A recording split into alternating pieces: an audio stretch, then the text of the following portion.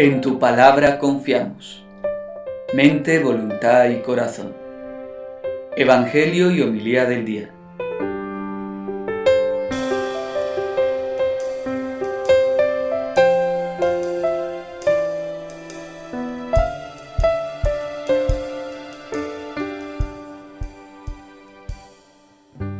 El Señor esté con vosotros.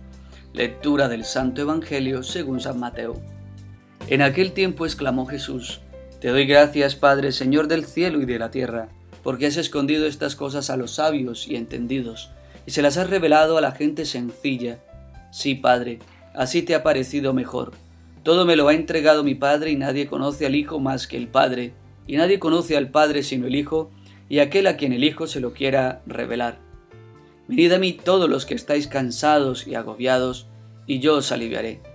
Cargad con mi yugo y aprended de mí, que soy manso y humilde de corazón, y encontraréis vuestro descanso, porque mi yugo es llevadero y mi carga ligera.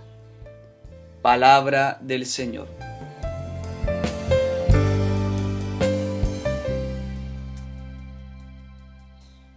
Feliz domingo, día del Señor, queridos hermanos.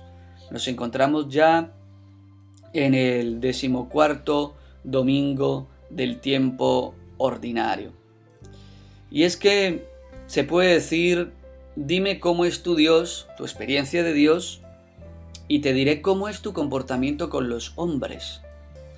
Por ejemplo, queridos hermanos, si el rostro de Dios que has encontrado es el de ser exigente, controlador, al margen de tu vida cotidiana, un Dios lleno de normas y obligaciones, un Dios que me pone condiciones y espera mis esfuerzos y sacrificios para hacerme caso, o si es un Dios que siempre me perdona aunque caiga una y otra vez en el mismo, que se alegra con mis alegrías y me quiere libre y es fuente de mis alegrías y de mi paz, que me ha elegido para transformar el dolor y el mal del mundo, etc.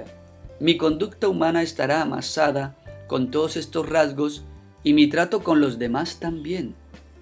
El rostro de Dios que ha experimentado del que vive y habla Jesucristo es alguien cercano, a quien en cualquier momento del día y en cualquier lugar, en medio de las cosas cotidianas, le dirige espontánea y sencillamente lo que siente y lleva en su corazón. Y este modo de sentir y vivir a Dios le lleva a descubrirse y actuar como una persona pendiente de los cansados y de los agobiados. Esa palabra venid, que la pronuncia el Señor a quienes no la tienen para revelársela, para ayudarles a descubrirla. Su padre le conmueve hasta los ante los perdidos y abandonados de la sociedad y de las estructuras religiosas, ante los que no tienen esperanza, ante quienes se ven sobrecargados de preceptos, normas, ritos, prohibiciones, condenas, incluso en el nombre de Dios.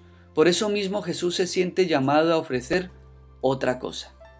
Hoy parece como si le hubiera si se le hubiera escapado delante de todos una plegaria fresca, gozosa y agradecida, y en ella se descubre el rostro de un Dios misericordia, consuelo, descanso, liberación. Y es que es así. No ha prometido el Señor que se van a esfumar las dificultades o que vamos a tener éxito. No. Ha dicho, yo os aliviaré y encontraréis descanso para vuestras almas.